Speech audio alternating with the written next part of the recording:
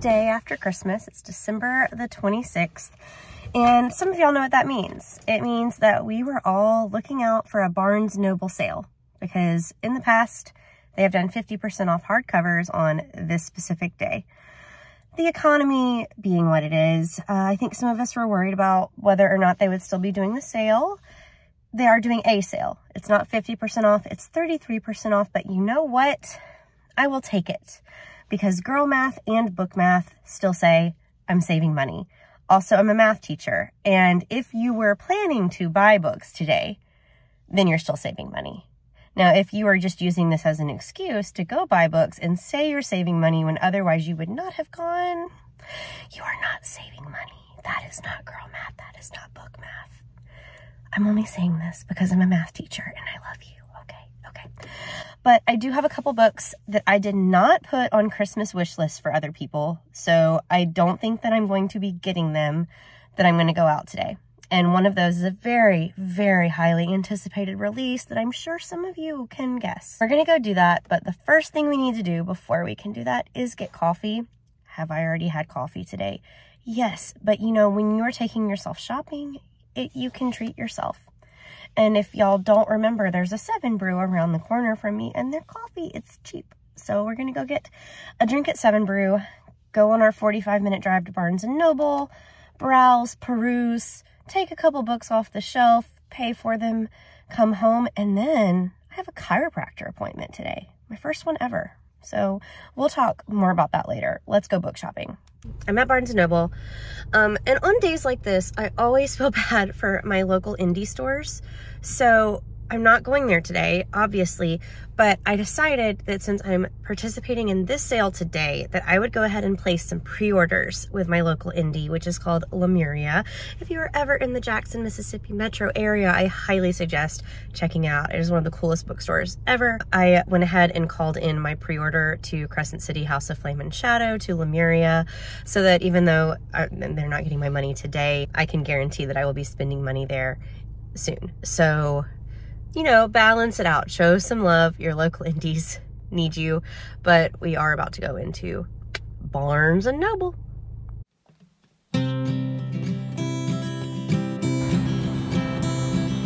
Take my hands now. Take him like they're yours. Show me what you imagine draw it on the wall. Demons and witches, just let them fall. So I'm let them just for a moment because I'm going to drop off all of my books. But one of the books I got is not for me. This one is for my friend and coworker, Kayla, who knew I was going to Barnes & Noble this morning and asked if I could pick it up for her. And so I did. So after I go to the chiropractor, I'm going to run this by her house because she's down that way. And then uh, when I get back, I'll show you all the books I got for me. Okay, my friends, I'm back from the chiropractor. And first of all, let me tell you what a difference. What a difference.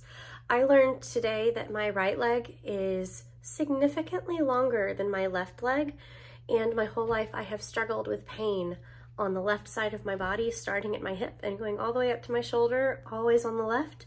And he pulled and popped and whatever that sucker, and I feel like a different person.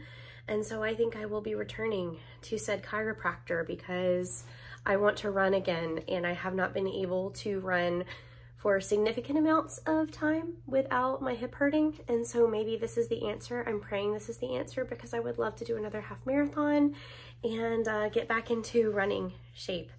But that's a, that's a discussion for a different video. I have a goals video coming out soon, so we'll get there later. Y'all wanna see what I got at Barnes & Noble today. All right, I knew I wanted a cookbook so the first thing I got was just the first cookbook that caught my eye. I have made recipes from this blog before, so I was excited to see this. And this is Skinny Taste Simple by Gina Homolka, I think is the author's name.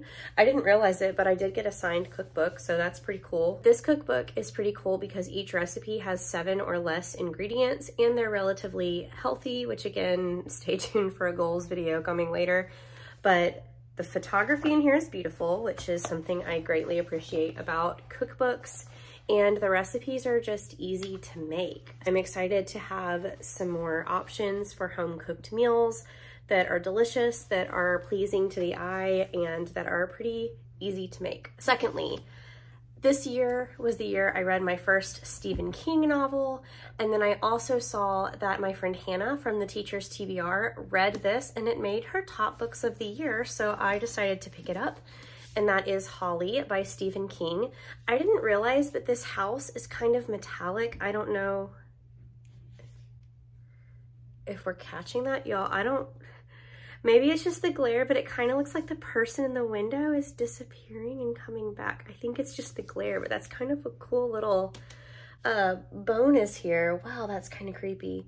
I've definitely been more on like my horror game this year and I want to read more and Stephen King is an excellent place to start. I also didn't realize this book is fairly long. It's like a it's like a thick one. I also picked up Powerless by Lauren Roberts. So I made a bunch of different Christmas lists this year to give to people for books that I wanted. And I was very specifically not putting this book on the list because I wanted to keep some that I didn't have on the list in case I got Christmas money or there was a sale so that I could go buy them. Fun fact, I haven't done any of my like Christmases with people yet.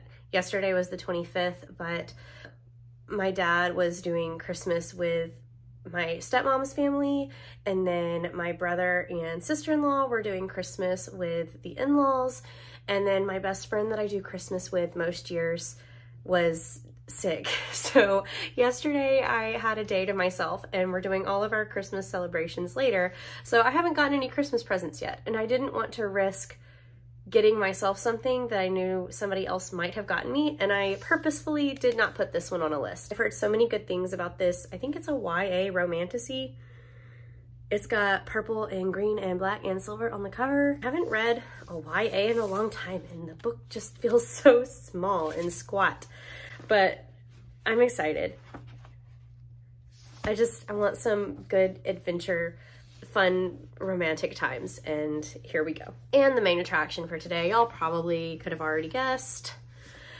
We've got the Barnes & Noble exclusive edition of Ruthless Vows, which as much as I want to crack this one open like right now and read it along with everybody else, I am going to read Kingdom of Ash today.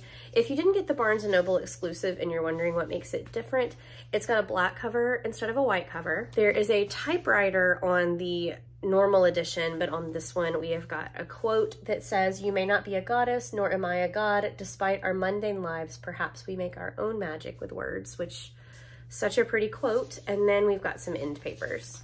So this kind of gold floral,